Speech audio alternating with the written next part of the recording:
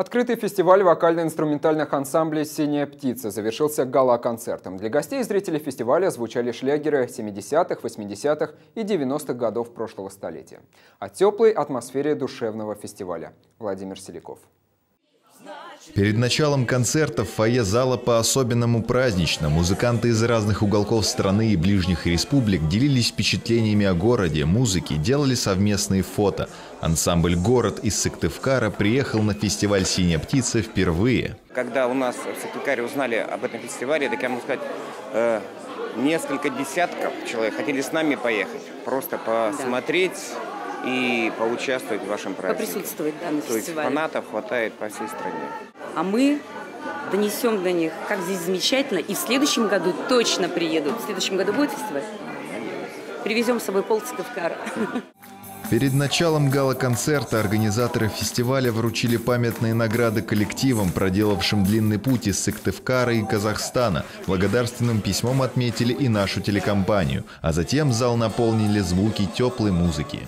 Если вы пришли мне навстречу, даже грянет гром, не дождь такой ждать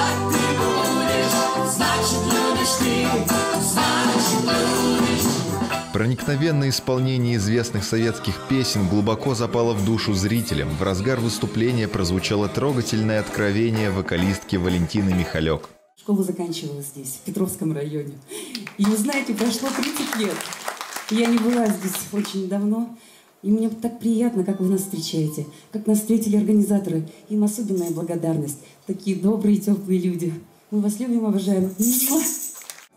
Следом за молодым коллективом «Город» из Сыктывкара на сцену вышел ансамбль «Скифы» из Казахстана. За более чем 40-летнюю историю коллектив стал значительным событием в музыке советского и постсоветского пространства. До начала концерта бессменный руководитель «Скифов» Гизат Мухамбетов рассказал, как ансамбль впервые приехал на фестиваль в 2014 году. Однажды мы приехали, на улице попросили, как проехать дорогу, и два парня нас встретили – ну, с таким вот они этим рвением друг друга перебивая, объясняли нам. Это говорит о, чем? О такой, о таком душе, о душе. Я, я думаю, что вот такой менталитет я сравниваю с нашим уральским небольшим городом. Вот как люди, как мне кажется, похожие. Джули, Джулия, Джули,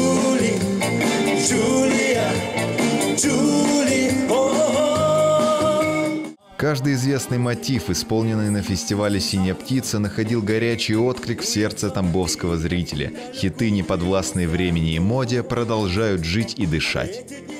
Владимир Селяков, Илья Демин, Анна Мусатова. Область новостей.